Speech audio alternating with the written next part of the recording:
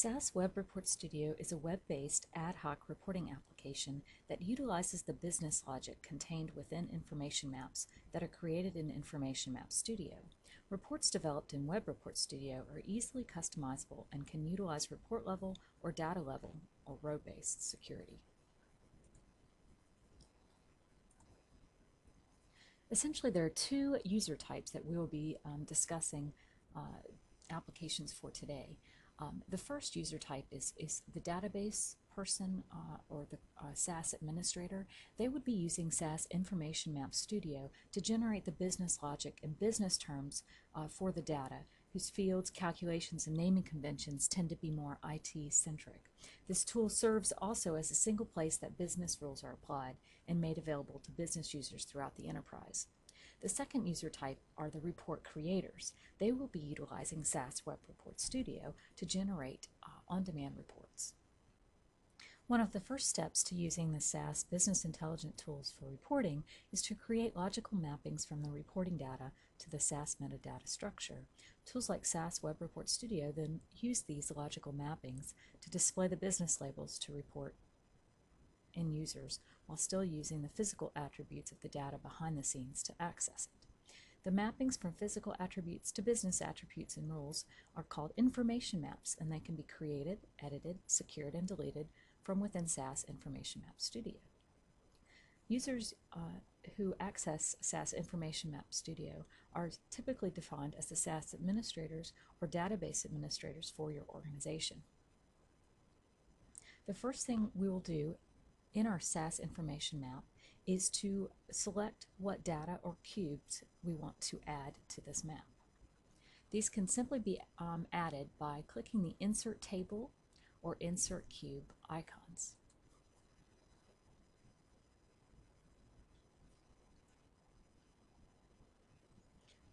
We will now select the data tables that contain the data for this information map. You can select the Shift key to select multiple tables.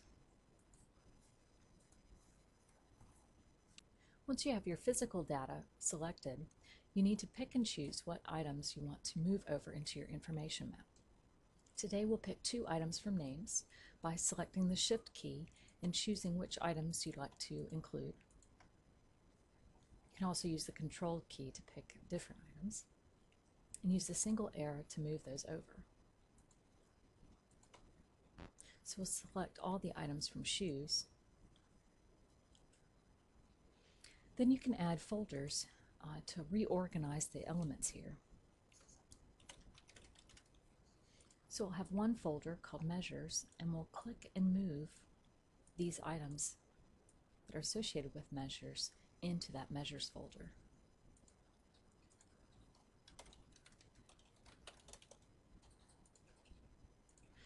You can select subfolders under these.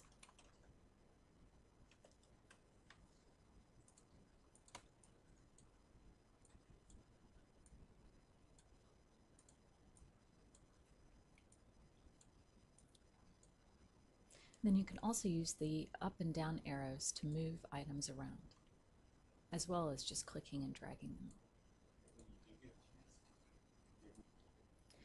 Note that the organization structure within the example is much easier to read and faster for users to navigate through.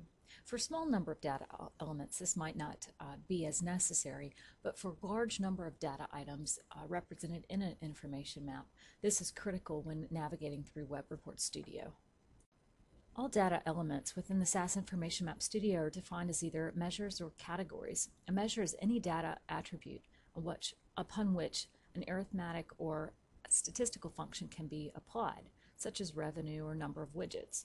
You'll see here that these are represented by the ruler icons. So number of stores, total sales, total returns, and total inventory are measures.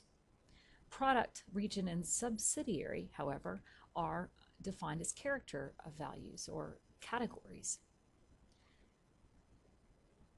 These can be numeric values, however, you are unable to perform measurements on these fields.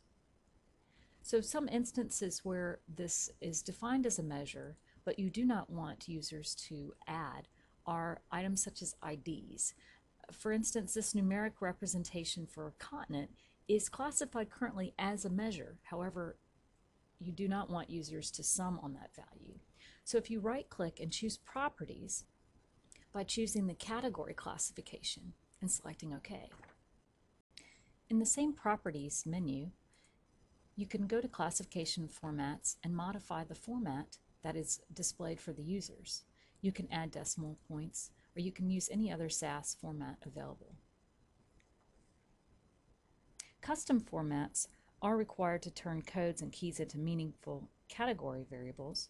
And for user-defined formats to be accessible to SAS Information Map Studio, either a, library libname must be set to the location of the format or the format search option must be used in the SAS v9 config file. Details on custom formats are located on the SAS website. Filters are created and used in Information Map Studio to subset data. Filters can be based off of category attribute values, like region equals Africa, or by comparing the aggregated amount for a measure, like revenue is greater than or equal to 1,000. Check the filter icon to create a new filter. The first thing you'll do is enter a name. Uh, for example, we'll enter region here. You can add description information, which is available uh, for the user.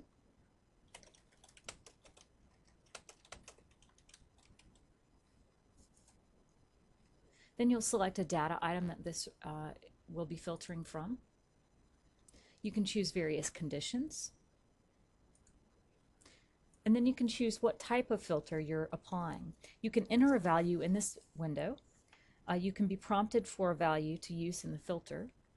You can input an expression in this window, or you can derive identity values. These are properties of a user uh, that can be used in a query like a username, user logic, identity group, etc. for row level security. Today we'll just enter a value.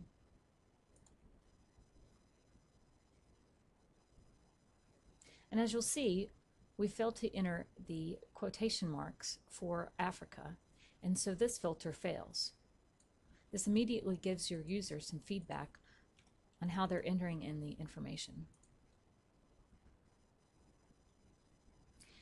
And now you'll see you have a filter called region with the little bottle filter icon. In order for multiple data sources to be seamlessly queried from one information map, data source join criteria needs to be stored. Click on the Relationships tab at the top, and then right mouse click on a table and select Insert Relationships. The two tables actually join on names.cont, C-O-N-T,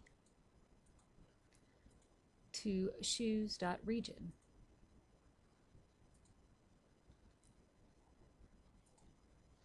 And you have a one-to-many relationship between these two tables. However, however, you will note that CONT is numeric and region is a character value, so we'll have to go to Advanced Edit to apply a format.